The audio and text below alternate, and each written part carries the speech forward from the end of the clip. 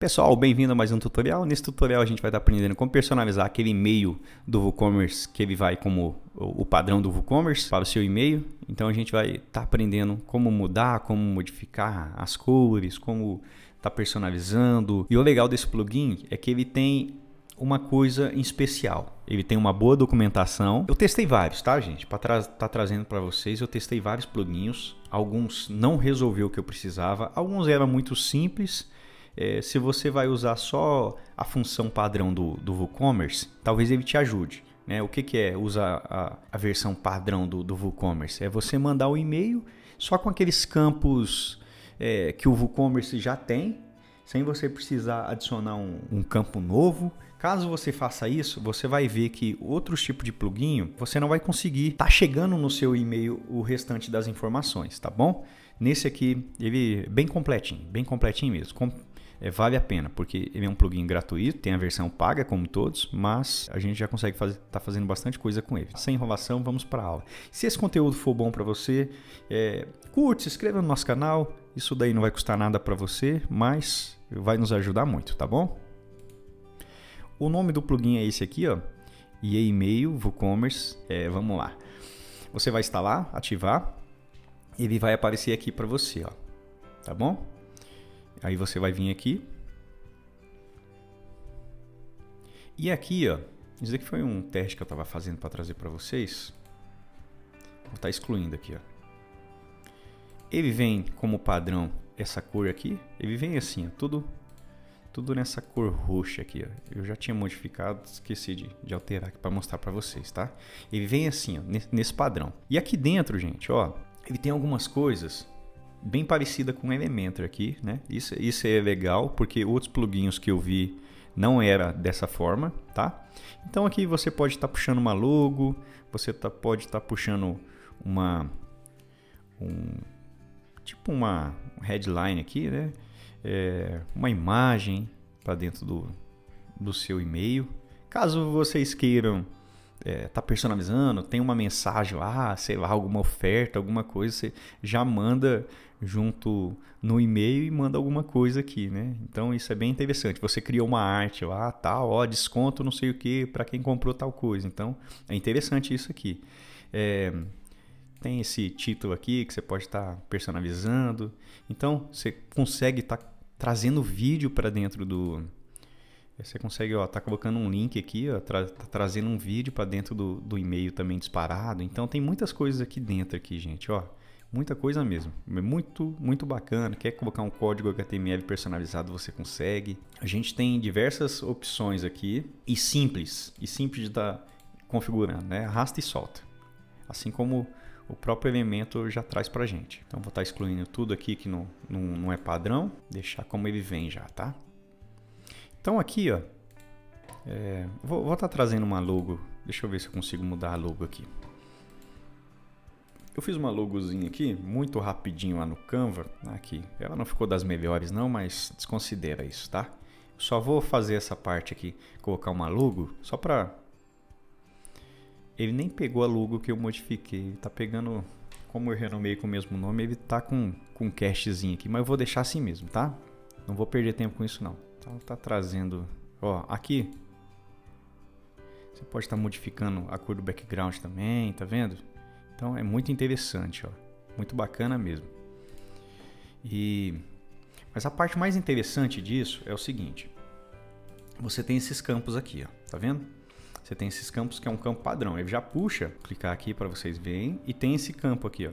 Tem esse geral que você pode estar tá criando é, divisão, tá vendo? Você pode criar uma divisão, você pode criar uma coluna e, e tá puxando os campos aqui para dentro. Ó, quer puxar três colunas, você puxa, entendeu? Como, como dentro do elemento mesmo, ó.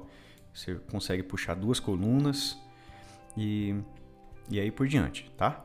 Mas a parte interessante é aqui dentro, ó. É aqui dentro. Eu vou deixar esses campos aqui para vocês verem. Ah, mas só, só explicar uma coisa aqui dentro. Você clicou aqui, tá? Aqui você consegue tá alterando, alterando o nome, ó. É, é, dados de faturamento. Você pode personalizar aqui. É, endereço de entrega, endereço de entrega. E aqui dentro também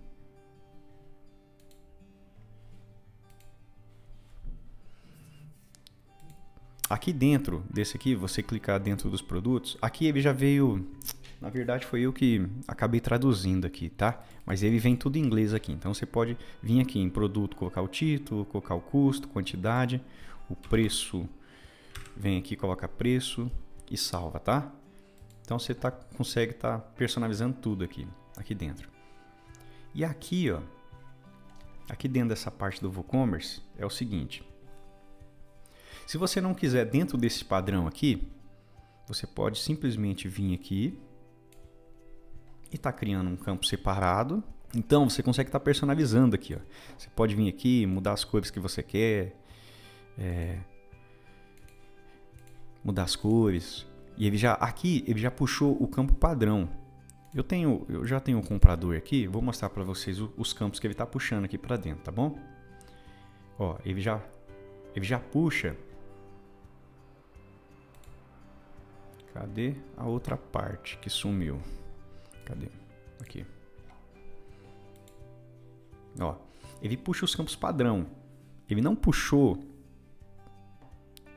tudo que eu tenho lá. Mas já já eu mostro para vocês sobre isso, tá? Mas por enquanto vamos começar a é, tentar trabalhar dentro do padrão que o, o WooCommerce traz.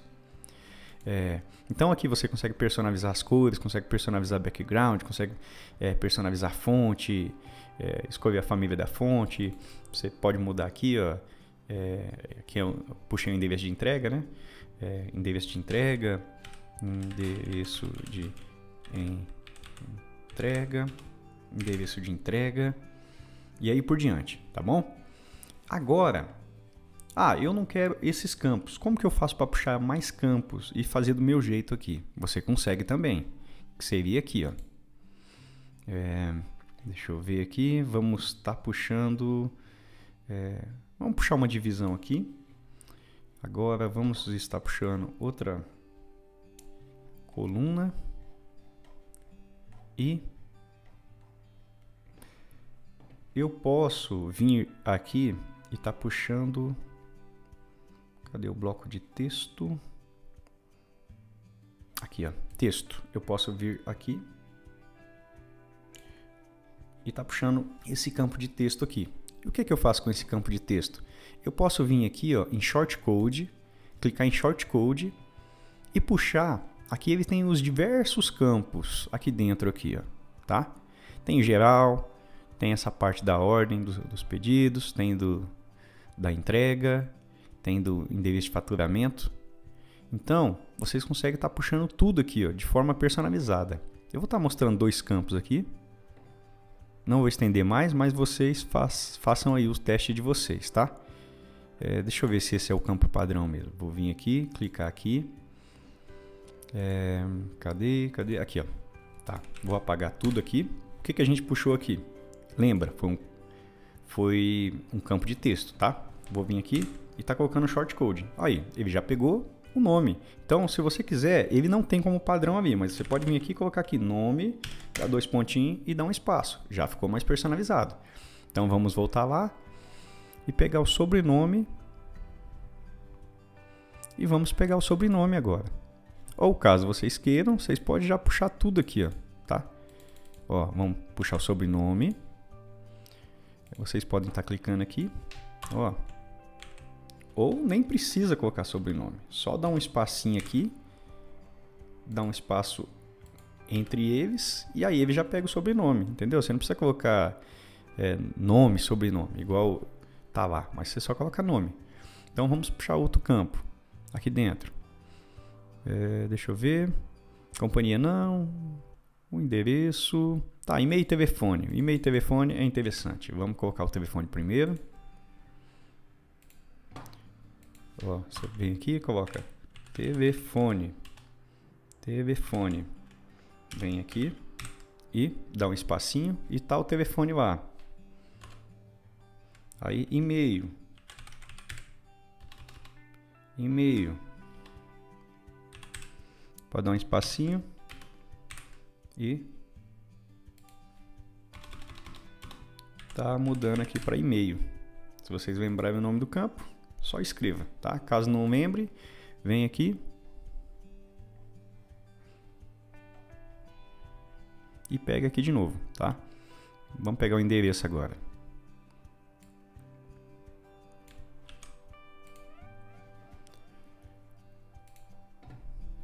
Vem aqui, ende, endereço.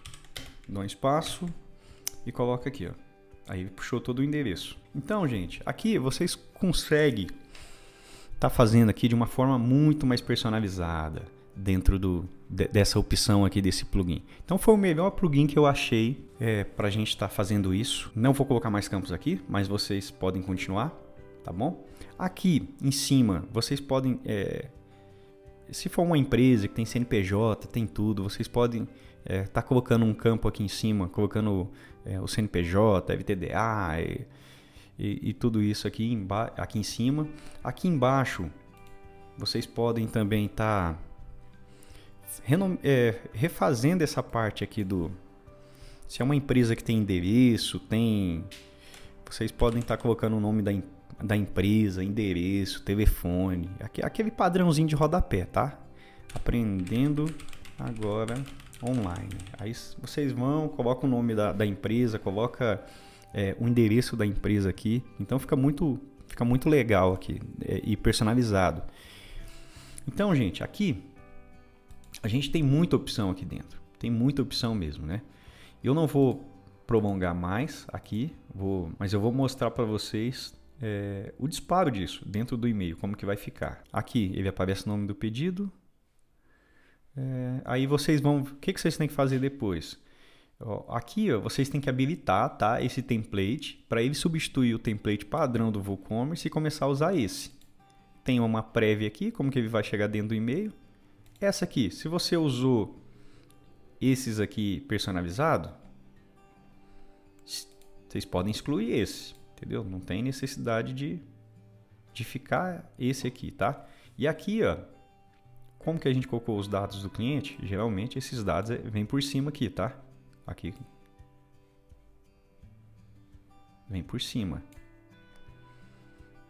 E aí, entre uma coisa e outra, você pode vir aqui também, ó, tá puxando um título aqui e colocar dados de faturamento, dados de faturamento. Não precisa de subtítulo. E aqui. Vocês podem duplicar também, colocar dados é, endereço de entrega. E está excluindo esse. Como esse é um, é um, é um campo padrão aqui, ó, é um campo padrão que a gente puxou aqui, vocês podem estar substituindo e fazendo daquela forma que a gente fez aqui em cima aqui, ó. Um campo personalizado de entrega também. E aí para puxar os dados de entrega é a mesma coisa. Vocês vão vir aqui, ó. Aqui, aqui é o geral. Aqui é a ordem, os detalhes do pedido shipping é a parte de entrega, entendeu? Vocês vão pegar esses dados aqui de entrega. Esses dados de entrega. Deixa eu ver como que vai colocar lá, se ele vai bagunçar tudo. Deixa eu duplicar aqui pra gente ver. Ó. Essa parte aqui não existe, tá, gente? Então, eu não queria puxar dessa forma aqui, porque ia puxar esse lixo aqui do... Que, que tava lá. Mas é só pra vocês entenderem, tá bom? Ó, aqui é o o nome, o sobrenome. Então vocês vão e personalizam do jeito que a gente fez aqui, tá? Para não ficar essa bagunça aqui. Mas eu vou deixar isso aqui só é, uma forma de, de exemplo e uma forma mais rápida para mostrar para vocês, sem precisar enrolar nessa parte aqui, tá bom? Então espero que vocês tenham entendido. Mas na verdade eu errei aqui, né, gente? Calma aí. Deixa eu voltar aqui. É, os dados, os dados de faturamento é o de cima. Vamos clicar aqui. Clicou.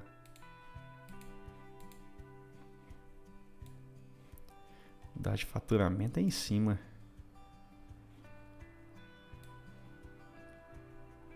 Aqui, ó. Esse daqui a gente exclui. Pronto. E aqui vocês personalizam, mas não faz do jeito que eu fiz não, tá? Faz, faz um campo, faz um por um aqui, ou jogo num bloco de nota e limpa essa parte aqui. Ó. Aí vocês vão vir aqui e salvar. Aqui vocês podem estar tá testando para ver como que vai chegar. Vamos ver se o teste chegou.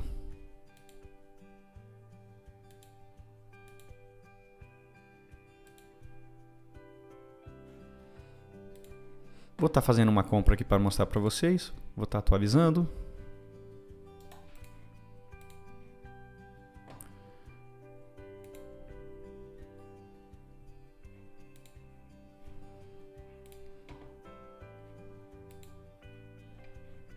Tá, vou estar tá fazendo uma compra aqui.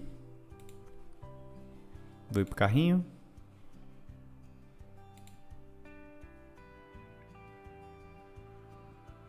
Pronto, meu pedido foi, tá? Como eu já tinha os dados lá, eu não vou me, me prender essa parte não com vocês. Pessoal, aí o e-mail tá aqui, o e-mail chegou. É, tá aqui os dados, como a gente configurou, tá vendo? Não é mais como aquele padrão do, do WooCommerce. Então vocês conseguem configurar esse e-mail de diversas formas, tá? Então fica livre para estar tá usando, para estar tá fazendo do jeito que vocês preferirem. Mas não é só isso aqui dentro. Aqui, ó, é, vocês voltando dentro do plugin, aqui está aqui, ó, pedido, né? Mas vocês podem estar tá configurando todos os tipos de e-mail aqui, aqui dentro, de, desde o reembolso, de pedidos concluídos, de pedidos em processamento, aguardando, detalhes do pedido, pedidos concluídos. Então, eu não vou prolongar porque é, acaba sendo a mesma coisa, senão ia demorar muito essa aula. Mas tem outro detalhe que eu quero mostrar para vocês aqui, mas eu vou deixar para uma próxima aula que porque daí eu preciso estar tá instalando um novo plugin para estar tá mostrando para vocês. Seria o que? Em outros plugins, o que, que eu não achei? É a parte de você criar um campo personalizado dentro do, do, do seu WooCommerce. Você, você criou lá um, qualquer campo no, naquele formulário de checkout. Você precisa criar um CNPJ lá, você precisa criar é, um formulário de representante, você precisa criar qualquer coisa lá. E esse e-mail, como padrão, ele não vai. Ele não vai. É, ele não vai chegar aqui esses dados, porque ele não tem nem como. Ele só pega. A maioria dos plugins que eu vi, ele só pega a, o padrão do, do WooCommerce, né? os, os campos padrão do WooCommerce. E nesse aqui não, nesse aqui a gente consegue estar tá, tá enviando esses campos personalizados. Para parar aqui, para deixar um vídeo mais simples, eu vou parar aqui e eu vou estar tá trazendo uma nova aula para vocês de como vocês criam esses campos personalizados dentro do, da parte de checkout do WooCommerce e como que vocês usam aqui dentro desse plugin esses campos personalizados, como que você envia, tá bom? Espero que vocês tenham gostado desse vídeo. Qualquer dúvida, deixa nos comentários. A gente esqueceu de alguma coisa também, pode estar tá trazendo aí pra gente. E, e a gente vai ficando por aqui, tá bom? Agradeço.